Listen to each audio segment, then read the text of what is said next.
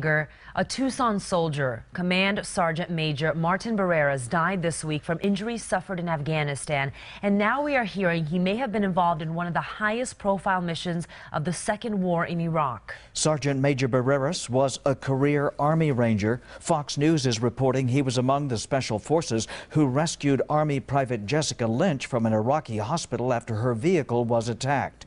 Barreras served in Panama, Haiti, and deployed multiple times in Afghanistan and Iraq. Not in your sides, Craig Smith has been following the Jessica Lynch connection. He's live in our newsroom. Well, Guy, we knew Sergeant Major Barreras had a distinguished career in some of the hottest of the world's hotspots. He achieved one of the Army's highest enlisted ranks. The Purple Heart, Bronze Star, and Legion of Merit are just part of his long list of medals.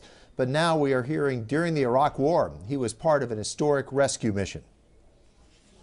As an Army Ranger, Command Sergeant Major Martin Barreras lived by the motto, Rangers lead the way. They often work with other special forces. Now Fox News is reporting that Sergeant Major Barreras was on the Combined Special Operations Force that rescued Army Private First Class Jessica Lynch from an Iraqi hospital. Are you in any pain? She was captured after Iraqi forces attacked her vehicle and killed her fellow soldiers, including Arizonan Lori Piestewa of the Navajo tribe. The soldiers, SEALs, and airmen strapped Lynch to a stretcher and threaded their way out of the hospital. Still here with you, Jessica. They watched for trouble as they hustled her onto an aircraft to safety. Make sure we get a good count, guys, as she comes in.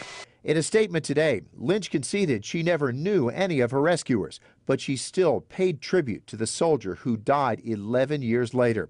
She said in part, knowing that he not only risked his life to save mine, but that he has done so for countless others means Command Sergeant Major Barreras has a legacy that will live forever. Now, Sergeant Major Barreras graduated from Sunnyside High School in 1982. He leaves behind his wife, two children, a grandchild, a brother, and his parents. Guy Stella. Thank you, Craig.